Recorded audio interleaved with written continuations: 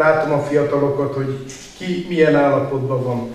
Szerintem ahhoz, hogy mindenki nyugodt legyen, hogy a gyerekei drog szempontból, alkohol szempontból hogy állnak, fokozottabban kellene odafigyelni, mert egy adott alkalommal drog sajnos nem csak a gyereket, hanem az egész családot tönkre teheti.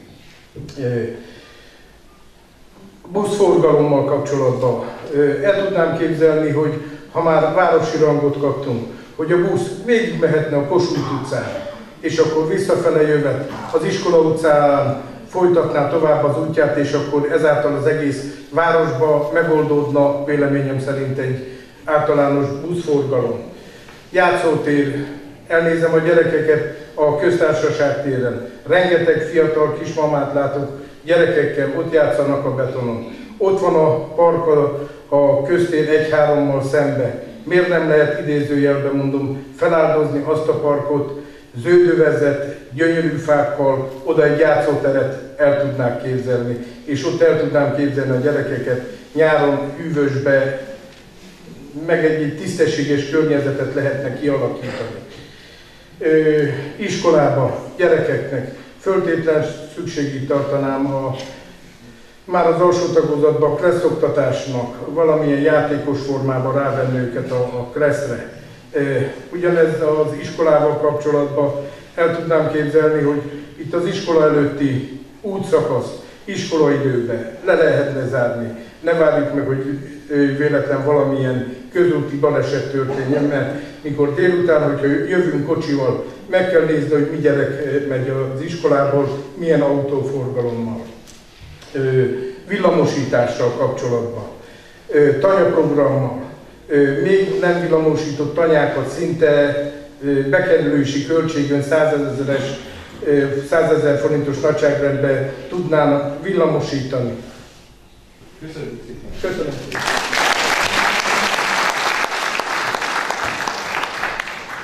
Rácz által független képviselőjelöltet láttuk, hallottuk.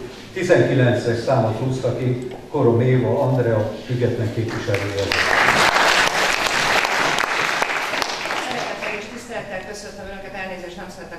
beszélni, ha valaki nem hall, azt kérem jelezzem. Korom Éva Andrea vagyok, szentesen születtem, 91-ben költöztem szüleimmel haza Mincentre, a nagyszülői házba. Na, szüleim azóta is ott élnek. Van egy 22 éves fiam, aki jelenleg a, a Magyar Honvédség Altiszi Akadémiájának másodéves hallgatója. Mindenek előtt, mielőtt néhány feladatot és nem fejlesztési elképzelést szeretnék a következő időszakban felálló képviselőtestület elé tárni, illetve önök elé tárni. Mindenképpen el kell, hogy mondjam, hogy az elmúlt időszak nem volt könnyű. Nem volt könnyű, tapasztaltuk, és elsősorban én is tapasztaltam az óvodában, mint óvodavezetőként, de azt gondolom, hogy akik itt ülnek az óvoda részéről, ők ebben meg tudnának erősíteni engem. Borzasztóan nehéz volt, napi szinten veszélyben állt az óvoda működése is, mint intézmény, mint önkormányzati fenntartású intézmény. Az önkormányzatunk a csőd szélén áll, tehát olyan napi problémákkal kellett szembesülnünk, ami sokkal elő, aminek, amiknek a megoldása sokkal előrébb, előrébb való volt, mint maga az, hogy esetlegesen fejleszteni tudjuk-e az intézményünket. Természetesen az óvoda felújítására, megújítására is készült pályázat még 2008-ban, sikeres pályázat volt, azonban az akkori politikai helyzet miatt nem Mincentre került az a pénz. Akkor most áttérnék a, hát a fejlesztési elképzelésekre, amelyeket inkább én feladatoknak neveznék, mert azt gondolom, hogy ezek olyan feladatok, amik, amik prioritást kell, hogy élvezzenek az elkövetkező öt évben a képviselőtestület döntései alapján. Időszerű és a csatornázás befejezését követően a belterülete és közútjai, a járdák teljes felújítása. Település szívében lévő iskolasor előtti útszakasz végleges lezárását fogom kezdeményezni a forgalom elől, esetleg pályázatra alapozva, tovább menve, egy kicsit körfejlesztve, sétáló rész kialakítására, új útborkolattal, térkővel ellátva. Nagyon fontos a gyermekeink napi biztonságos közlekedése, Akik erre járnak sűrűbben, talán láthatják is, hogy reggel is és délután is, amikor a gyerekeket az iskolából bocsátjuk el, az óvodából mennek haza, bizony nagyon fontos, hogy biztonságos körülmények között tegyék mindezt. A bel- és külkereti közvilágítás, ivóvízhálózat, csapadékvíz elvezetés kérdése nagyon fontos, ezeknek a korszerűsítése, felújítása. A közvilágítás biztosítását szükséges megoldani a strandi üdülő környezetben is, ezt úgy gondolom, hogy senki nem vitatja, hiszen akik nyáron lejárnak, szembesülhettek sokszor azzal, hogy bizony, ha esetlegesen későbbi időpontra maradnak len, elég nehézkes a hazajutás. Hát nagyon sajnálom.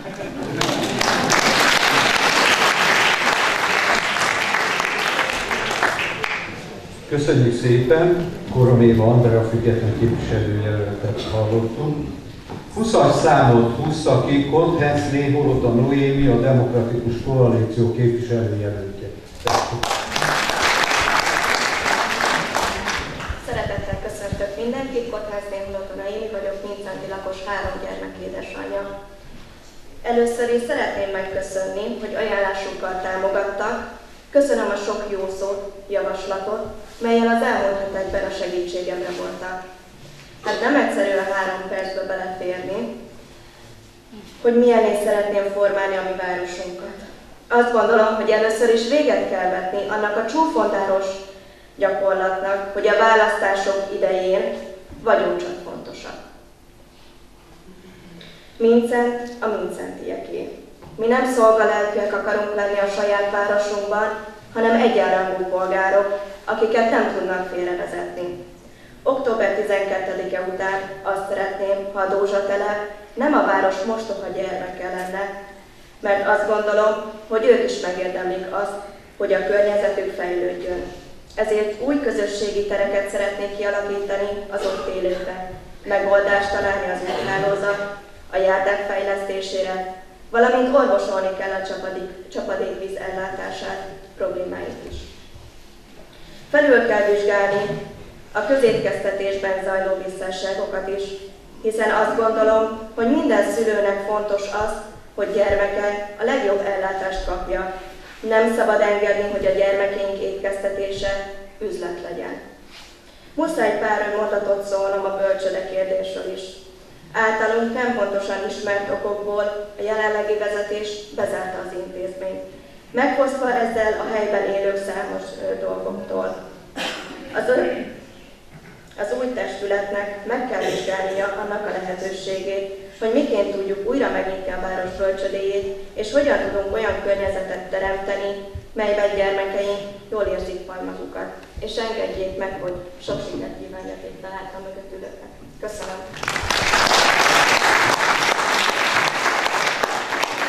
Köszönjük szépen!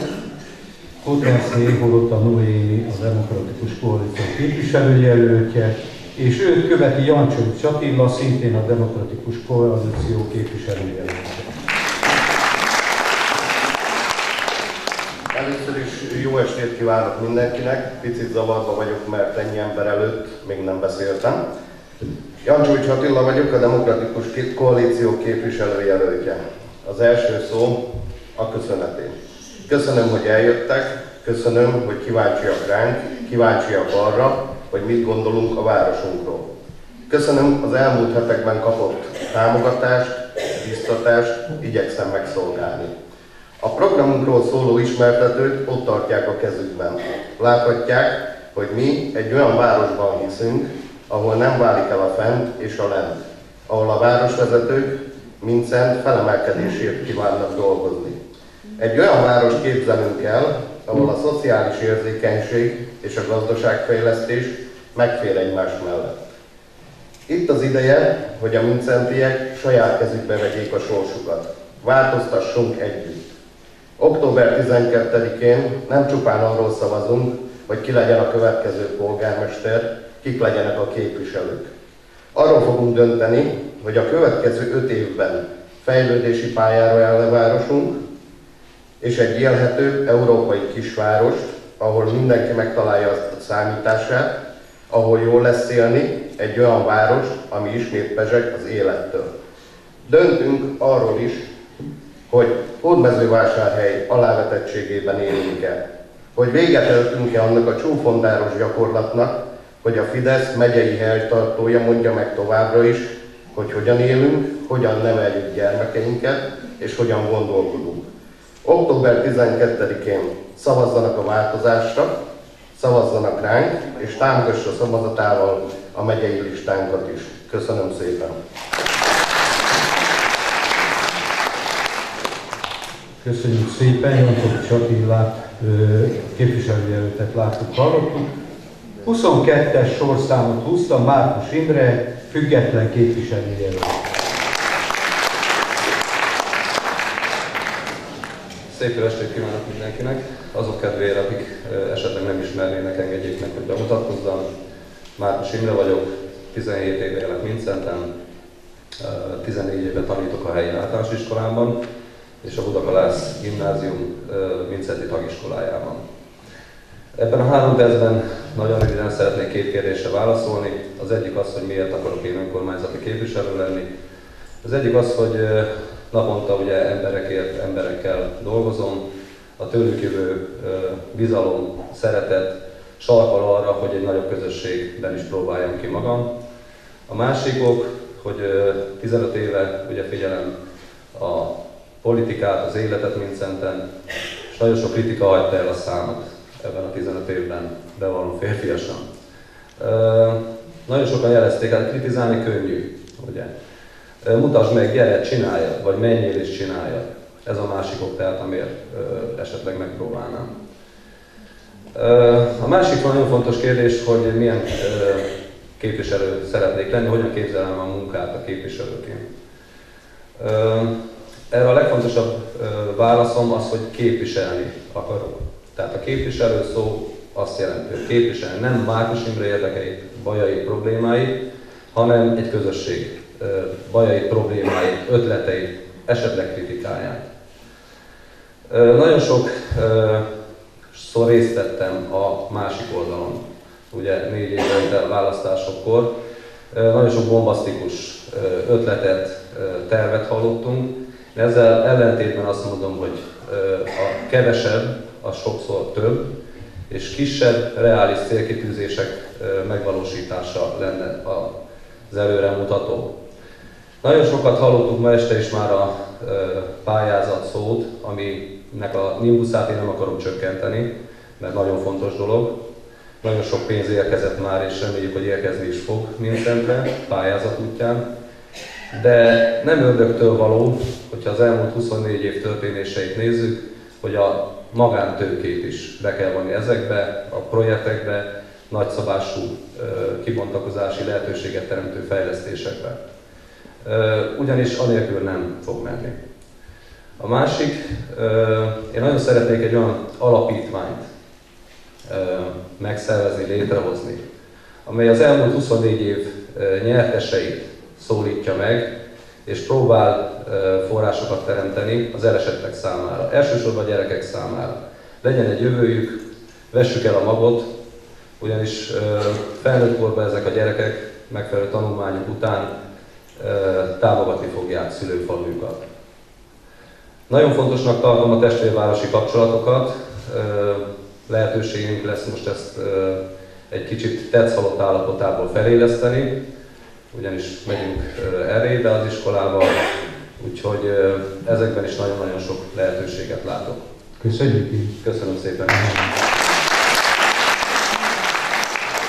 Márton Imre független képviselőjelöltet láttuk, hallottuk, és végül, de nem utolsó sorban 23-as számot húztak Davud Ildikó, független képviselőjelölt. Ildikó.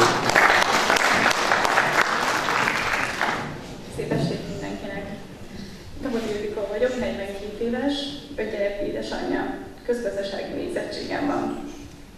Vincenti vagyok, már sokáig Budapesten éltem és Amerikában de 12 éve már újra itt élek. A Mincenti Nagycsaládos Egyesület vezetőségében is részt veszek. Ahogy hallottuk, bárki bekerül itt, utak lesznek, járnak lesznek, pénz lesz. Amit én mégis fontosnak tartok, az az önellátás. Mind a családok, mind a város részére. Vannak majd önállátó települések, ezektől példákat lehetne áthozni. Ilyen települések Mátra, Derecske, Gyömörszörlős. Mezőgazdasági adottságunk megvan hozzá. Persze ehhez az is kell, hogy az emberek akarjanak tenni a sorsukért. Az önkormányzat mintaudvar kialakításával segíthet, ahol lehet tanulni, együtt a példát is mutathat, és munkahelyet is teremt. Nagy vonalakban ez arról szól, hogy az emberek szabad akarattal döntik el, hogy mit termelnek, milyen állatokat tartanak. Az önkormányzat vállalja, hogy ezeket felvásárolja, az emberek pedig társadalmi szerződés keretein belül vállalják, hogy ezeket megvásárolják. Helyi vállalkozások bevonásával ez megvalósítható. De megközelíthető ez a gyerekeken keresztül is, egy-egy kis csomag vetőmag, pár kis csirke, amikről beszámol, fénykép készülhet értékelésre.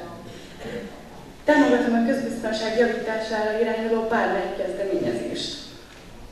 Fontos a környezetvédelem, kulturált és felelősségteljes szelektív hulladékgyűjtés. A háztartásokból jó lenne a használt olajakat összegyűjteni. Mindezekkel már munkahelyet is teremthetünk. De én legfontosabbnak az embereket tartom. Gyerekeknél tehetséggondozás az iskolában, többféle sportolási lehetőség, választási lehetőség biztosítása két idegen nyelvtani, nyelv közül. A lakossággal való kommunikáció, havi szintű tájékoztatás, az önkormányzat munkájáról, a várostérítő legfontosabb vállalkozásokról, változásoktól, változásokról, döntésekről, lehetőségekről. Az idős emberekkel való fokozottabb odafigyelés. Nagyon sok idős van a városunkban. Sokan egyedül élnek, sokszor egy-egy beszélgetés is nagyon sokat jelentene nekik. Ez szorosabb együttműködést feltételez a család segítő szolgálattal. De mindenben az érettségre készülő diákok is segíthetnek a ledolgozandó önkéntes munka keretein belül. Végezetül képviselői tiszteletdíjam egy részét minden hónapban felajánlom egy családsegítő szolgálat által ajánlott családnak. Igény szerint élelmiszer, gyermekruha, egy-egy gyermekruha cipő vásárlásával. Köszönöm szépen! Köszönjük szépen! Davud Ildikó független képviselőjelöltet láttuk, hallottuk. Elhangzottak a programok, az elképzelések. Most volna arra lehetőség, hogy kérdezzenek a képviselőjelöltektől, a polgármesteri jelöltektől, de szeretném megkérdezni, hogy egy 5 perces szünetet. Tessék? Jó, akkor 5 perc szünet, és aztán folytatjuk.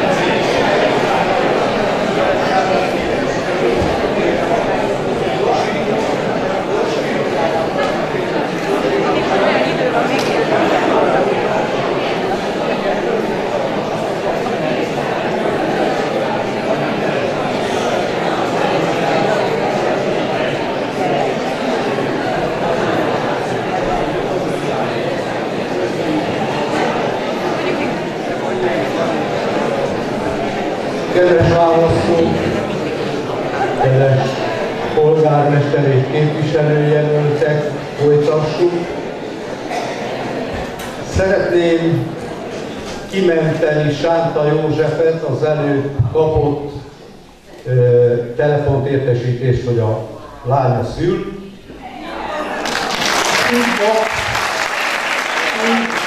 Ma, kérdéseket nem tehetünk föl, de szerintem utcán, amikor találkoznak, nyugodtan. És akkor kedves kollégámnál van, a Gábornál van a mikrofon, sőt a másik oldalon a másik mikrofon. Kérem, lehet föltenni kérdéseket a képviselőknek, a polgármester jelölteknek.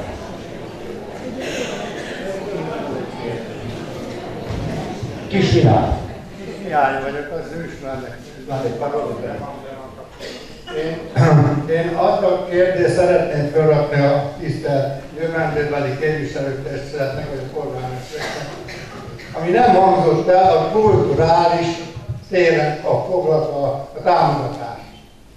Ugye vannak itt minden egyesületek, akik alig ha, vagy csak egy pár támogatást kapnak a költségvetésre. Ugye személy szerint ugye én az Arkon Népdarkönnek tagja vagyok, vagy nyugdíjas csoport is van, működik, mindenhova odaérünk, de támogatást a költségvetésből nem kapjuk. Holott ország, országos hírnevünk, aki nem tudná, aranypáva díjasok vagyunk, és mégse kapunk a holott egy kirándulást, egy szereplés, minimum 3000 forintba kerül benzinköltség, buszfizetés, dajarosztatás, és ezt egyetlen egy képviselő előtt tőlem, nem hallottam volna, hogy támogassuk a kulturális csoport, akár civil szervezetet, akár, akár, vagy akár. Én ennyit szeretném, hogy ezt a programban vegyék, mert elég sokan vagyunk, és a is mi majd figyelembe veszünk az ígéreteket. Köszönöm szépen! Köszönjük, Fejos Áron!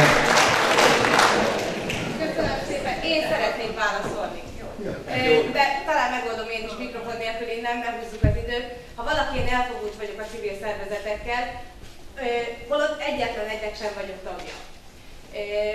Én voltam talán az első, aki, aki négy évvel ezelőtt már hadakozott azért, hogy legyen végre civil alap, mert a civileknek nagyon kell. A negyedik évre sikerült elérni azt, hogy, hogy lett civil alap, nagyon jelképes összeggel, 1 millió forinttal tanulópénz volt, akkor ahogy meghirdetésre került a civil alap, én azonnal összehívtam a civileket, és elmondtam, vannak itt többen emlékeznek rá, hogy próbajelleggel megy a dolog, mindenki adja be, mindenki sokat kérjen, hát egy kicsi. És 35 pályázat érkezett idén, és mindenki kapott valamekkora összeget. Na most nem kell megfejszámolónak lenni, hogyha 1 millió forintot elosztunk 35 felé, tényleg nagyon jelképes volt. Viszont nagyon jól demonstrálta az önkormányzat felé ez a picike összeg és a nagyon sok pályázat, nagyon nagy szükség van a civil alapra, nagyon nagy szükség van a civilek támogatására, hiszen nélkülük nincsen rendezvény, program, pályázat, semmi nem valósulhat meg a civil összefogás nélkül, és már idén többször hallottam annak, de ezt tovább lesznek, meg azt gondolom, hogy ezzel mindenki tisztában kérjük, hogy legyen a következő költségvetésben sokkal nagyobb pénzösszeg. Köszönjük! Tessék!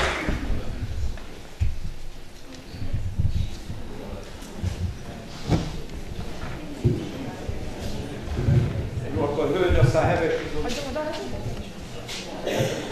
Takács vagyok.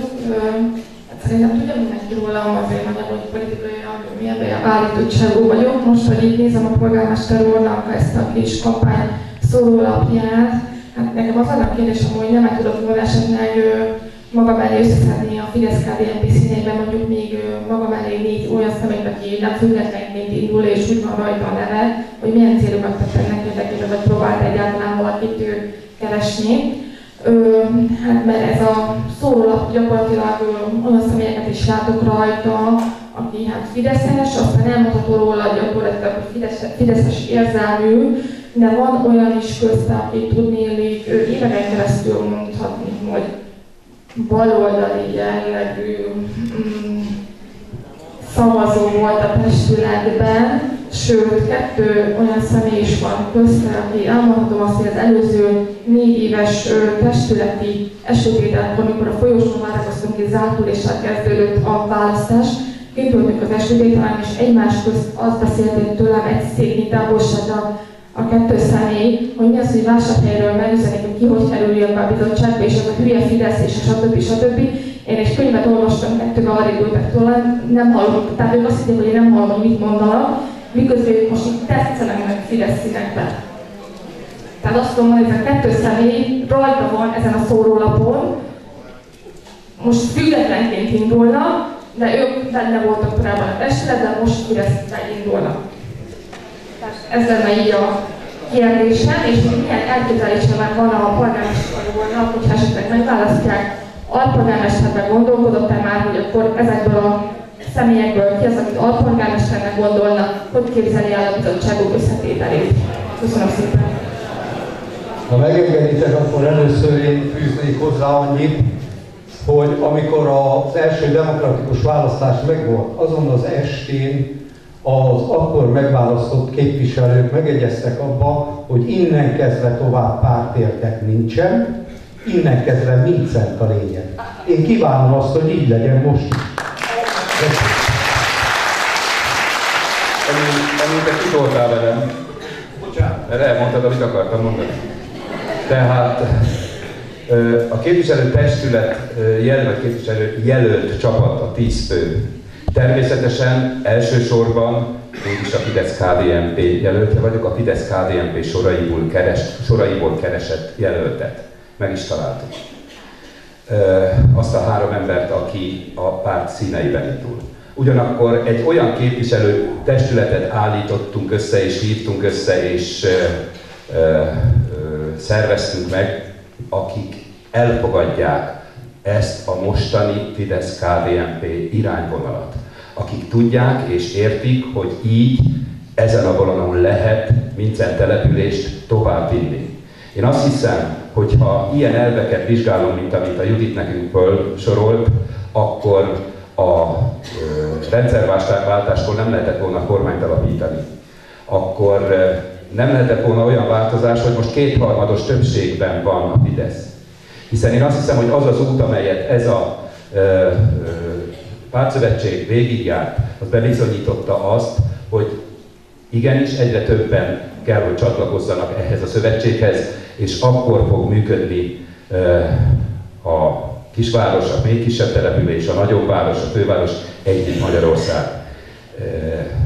Én nem látok ebben semmi furcsát, hogyha még ez így is történt. Én az ő helyében viszont ezt nem hangosítottam volna ki. A másik, másik kérdés az alpolgármesterek kérdése. Nem a polgármester dönti el, ki lesz a polgármester. A képviselő testület tagjai tesznek javaslatot, és én ezeket a javaslatokat terjesztem eléjük, és így fog az alpolgármester személye kiválasztásra kerülni. Egyébként törvény szerint, jog szerint ez a polgármester feladata is dolga. De én először a testület, az új testület minden egyes tagjának a javaslatát fogom meghallgatni, és úgy fogom megtenni a javaslatot. Oké? Okay? Ha a polgármester leszek, így van, nem Köszönjük szépen, Köszönöm szépen. Nekem két kérdésem lenne, és mint tiszai embernek, illetve azt hiszem van még sok tiszai ember, akit ez éri.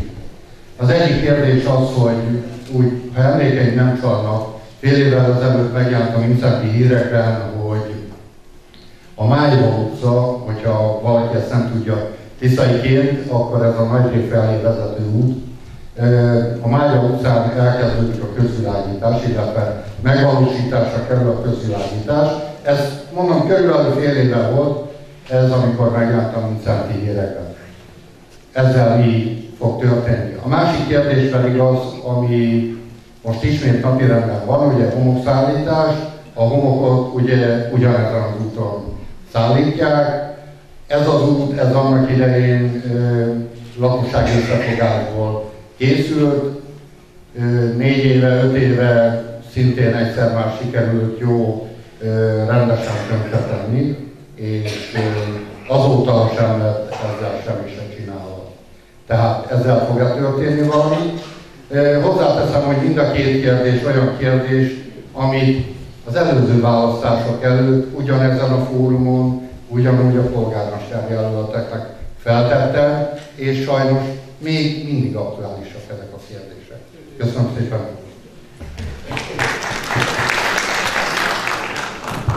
Fogadjuk, hogy neked címezted. Igen. Nos, így van. Meg Jóskán az Nincs, nincs itt most, igen. Nos, így van. Nyolc hónappal ezelőtt, addig gondolkoztam, hogy mennyikor is volt ez pontosan. Nyolc hónappal ezelőtt kerestem meg a Démászt azzal a kéréssel, hogy oda nekünk közvilágítás kellene összefűzve a Májva utca, ezzel párhuzamos, vagy Ebbőnyíló és a Tiszával párhuzamos alsó út, az Észak utca egy szakasza közvilágítása ügyében. És hat hónappal ezelőtt aláírtuk a szerződést, a kivitelezési szerződést a Démásszal. Eddig a napig ők ezt még nem tudták, igaz, hogy fél éves kivitelezési határidőt vállaltak, de eddig a napig még nem tudták megcsinálni. Na most el tudod képzelni Zoltán, hogy én mit lobbiztam, hogy ez legyen meg mostanra, hogy, hogy ugye legalább 12-ére. Most csak imádkozni tudok, hogy a jövő héten megcsinálják, és büszkén hirdetetem, hogy megvan. Jó. Homok kitermelése 8 hónapos kinkeserves küzdelem után sikerült elérni, hogy hozzáengedtek nyúlni a Tiszapart homokjához. Hálá Istennek minden engedély megvan, elkezdték valóban a kitermelést, és ugyanazon az útvonalon hordják, mint azelőtt. E, azt hiszem, hogy az evidencia, hogy nem a homok kitermelés előtt, de az törvény, hogy a homok kitermelés után. Viszont ezt az utat nem strádává, de egy megfelelő úttá kell, hogy rendet tegye az a vállalkozó, aki most e, ezt a munkát végzi. Ez a megállapodásunkban benne van. És innentől Kérem? Ja, hát igen, bocsánat, a múltkoriban sok minden benne volt. Ami aztán utána mi fizettünk, ez a, azt mondják, mikor is, 2012-ben három és fél millió büntetés. Mert olyan sok minden benne Köszönöm. Köszönjük.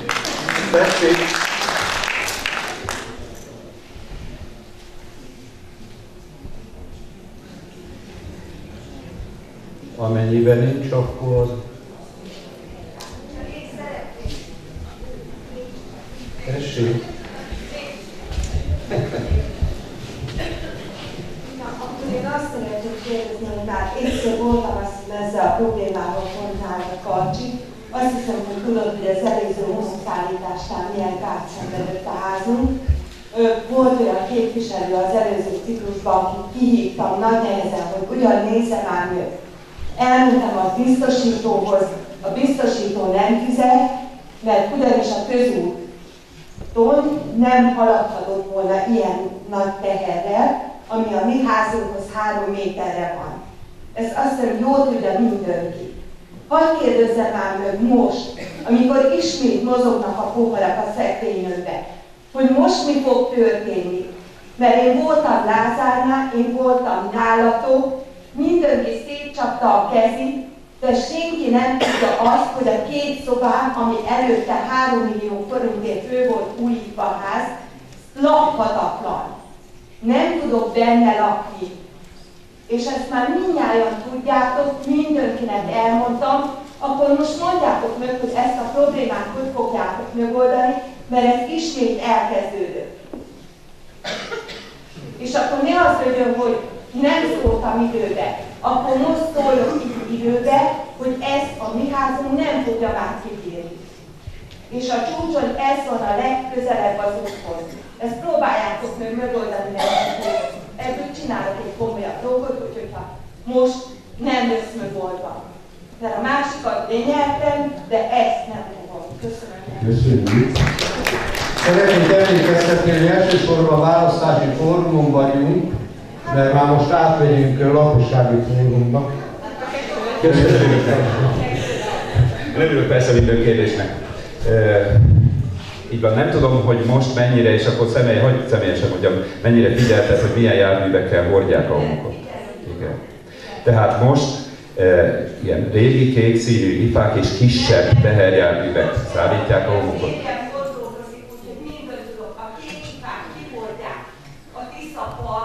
Igen. Jó. Jó. A... Oké. Okay. Tehát akkor a következőt kérem tőled, és ez nagyon fontos. Most, most, ha azt mondod, hogy az előzőekben történteket már nem látod biztosítottan kezelni, akkor most készüljenek fényképek.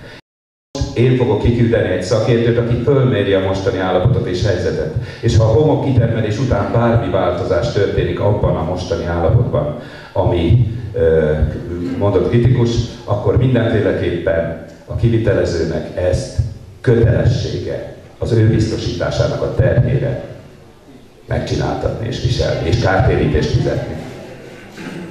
Keres meg engem ezzel, légy szíves. Még 12 így. Ja. Köszönjük. További kérdések? Tessék. Puszta Gábor vagyok, és nagyon-nagyon hiányolom azt, hogy nem hangzott el olyan, hogy a Vincenten élő rokkantak, súlyosan fogyatékosak kezelve lennének módon, hogy jutnak be sok esetben hódmezővásárhelyre betegszállítókon keresztül, mennyit kell várakozni ott, mire sorba kerülnek, ellátásba részesülnek, és hogy jutnak haza. Sajnos a feleségem is ugyanebben a helyzetben van, és több alkalommal volt a régi ciklusban, hogy bementünk az önkormányzathoz segítséget kérni, utána nézni, hogy milyen lehetőségeket kaphatnak ilyen sorsú emberek, hát zárt ajtók voltak. Második. Nagyon fontos lenne lépni a kurca ügyben. Felháborító van, ami most horgászként, én most léptem be az Egyesületbe, és amit tapasztaltam, mert ott, hogy mondjam azt, hogy nem nyugalom van a jelen pillanatban, hanem ha valaki lemegy, akkor csak idegeskedni tud. És volt szerencsém átjóval pászot váltani, hogy jövő évben pályázni kell, és mindent el kellene követni, ez egy kisváros, ezt a gyönyörű vízpartot, akár a Tiszát, akár a Kurcát, valamilyen úton módon saját vízként tudja kezelni, a Tiszáról szó se, a Kurcáról inkább. Szétkelni Csomrát környékén. Milyen gyönyörű vizek vannak, és nagyon-nagyon sokan járnak innét is oda horgászni. Tenni kellene érte. Köszönöm szépen. Egy-két szóval hagy szóljak hozzám. Jó. Ha az egészségügyhöz is próbáljon valaki hozzászólni. Igen? Kurcával kapcsolatban, ugye sajnos ami történt, az már megtörtént. Úgy, ahogy elmondtam neked is, hogy véleményem szerint nem lehet neki menni most a vízügynek, mivel hogy jócskán előnyben vannak. Jövő évben pályázni kell az újrahasznosításért, hogyha én most neki megyek a vízügynek. Nem biztos, hogy jövőre a 360 tagnak valamit tudok produkálni, hogy van Vincenti Horgász Egyesület. Így is nagyon necces a dolgunk, mert sajnos ugye Karcsival is voltunk itt, egyeztetni a kurcán bejáráson is voltunk, nem tudunk a vízügyen mit kezdeni. Meg kell várni a jövő évet, és a jövő évben, hogyha a pályázatunk sikeres lesz, véleményem szerint utána érdembe többet tudunk tenni. Egyelőre én ennyit tudok mondani a kurcával kapcsolatban, mert nem szabad háborgatni még most. Köszönöm szépen! Betegszállítások, az Igen, valóban. Ugye van egy betegszállítási rendszer, amely ugye az ázi orvosnak kötelessége hívni betegszállítót ki, és akkor beviszi esetleg. Na most ez a rendszer, én nem mondom, hogy jó, sőt, inkább azt kell mondani, hogy szegényes. És biztos vagyok benne, hogy nem tudja százszerzékosan kielégíteni azokat az igényeket, amely így van. Az én véleményem az, hogy a képviselőtestületnek azt kell, mint ahogy Gábor is elmondta az egészségügyi képviselősen, azt kell elsősorban súlykolnia, hogy minél több olyan ellátó szakrendelést hozzon ide ki időszakosan, nem azt gondolom, hogy reggeltől estig itt most egy kórházat építünk, de hogy elindult most egy olyan folyamat, ami, amiben két óra hosszára jön ide a szakrendelés, és csak kettőre, hogy oda el tudjon menni az az ember, aki erről szól. Szeretném, ha engem megkeresnél ezzel pontosan, hogy mi az a, az, a, az idő és mi az a pontos kérdés, amikor be kell járni és miért kell. Most bevisszük a hölgyeinket a mamográfiai szűrésre, mert be kell vinni, nem tud kijönni a busz, mert elromlott a szűrőberendezés és javítják. Most bevisszük, ezt megszerveztük. Ha ez a probléma olyan súlyú lesz, hogy valóban nem működik, akkor engem légy szíves keresni, vagy a polgármestert, aki lesz, hogy ez fölmerült, és ezt meg kellene oldani. Biztosítani fogunk rá hogy be tudjatok menni. Köszönöm szépen. Köszönjük. Hátul, Antali Erzsike. Köszönöm szépen. Hát a képviselő, tisztelt képviselő uraktól mindegyiktől hallottuk, hogy a csatornátást befejezik. Reméljük. Elég csúnya munka van. A másik, amit kérdésem van, hogy olvasom a Mincenti hírekben, hogy sok pénzt kaptak a pályázatra, a csatornára. Sok pályázat pénzt. A Szegvári polgármester már nyilatkozott, hogy visszakapják a lakosok a rájuk eső pénzt, ami visszajár. Most kérdezem, hogy ennek a testületnek mi a szándéka, hogy mit csinálnak a fennmaradt pénzzel, és mi lesz az uniós pályázatoknak, amit kaptak a csatornázásra. Hogy mi mit látunk ebből vissza. Köszönöm. A képés nagyon jó és nagyon aktuális. Ugye Említette, hogy összességében ebben a 340 milliónyi pénzzel sikerült a pályázati támogatást megnövelni. Nem is volt ez olyan nagyon egyszerű, de, de rendben van, megvan, itt van. A folyamat úgy zajlik, hogy ez a pénz belekerül a költségvetés, az országos költségvetésbe, ahonnan támogatják a mi pályázatunkat 95%-os mértékéig, így összességében a pályázat befejezéséhez 170 és 200 millió forint közötti önrész szükséges, amelyből mi már 380-at összegyűjtöttünk, és ez folyamatosan szaporodik 2016 szeptember 15-ig a Fundamental lakáskassa befizetések által, illetve rendelkezésre áll az egyszeri befizetések okán. Én természetesen ezt a hatalmas pénzt, mert ez egy hatalmas nagy összeg, többféleképpen tudom elképzelni felhasználni. Nagyon sok emberrel beszéltem. Mit gondolsz erről, mi legyen? Első és adandó lehetőség, hogy ezt a részt fizessük vissza a lakosoknak. Tökéletesen egyetértek ezzel. Második kérdés, mi lesz az útainkkal? Tehát, hogyha azt mondom, hogy meg kéne az úthálózatot rendbe kéne tenni, és ahhoz kell önerő, akkor el gondolkodok azon, hogy nem jó lenne ez a következő pályázati ütemben egy olyan ö, teljes házat, felújítási pályázat önerejének, amivel végre lenne Vincenten jó. Ezt a kérdést nem Zsótér Károly polgármester fogja eldönteni, nem is a képviselőtestület. Az első ö, testületülésen, ha ott ülök, akkor azt fogom javasolni a képviselőtestületnek, hogy minden egyes vincenti polgárt kérdezzünk meg arról, hogy mi képpen használjuk fel ezt az összeget. És ha a többség azt mondja, hogy adjuk vissza, akkor adjuk vissza.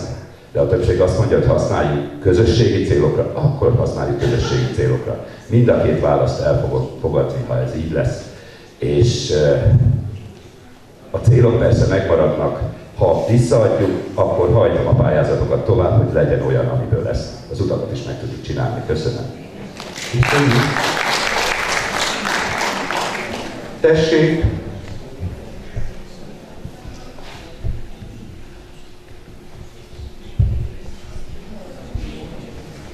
Amennyiben nincs, akkor nagyon szépen megköszönöm a polgármester és képviselőjelölteknek, hogy elfogadták a kulturális központ meghívását, és rendelkezésünkre álltak. Bármit, ahogy mondtam az elején, legalább annyira az ő érdekük is, nem csak a miénk. De legalább így kaptunk egy jó átfogó képet. Én is arra biztatok mindenkit, hogy október 12-én menjen el, és legjobb tudása, legjobb szíve válaszol mindenki és kívánunk jó munkát a testületnek. Szükségünk van arra, hogy jó testületünk legyen. És hogyha mindannyian el, elmegyünk, akkor legalább mondhatjuk, hogy én a magam részéről megtettem, lehet, hogy nem azt választották meg, akit én szerettem volna, de ez van. Köszönöm szépen, további szép estét kívánok mindenkinek!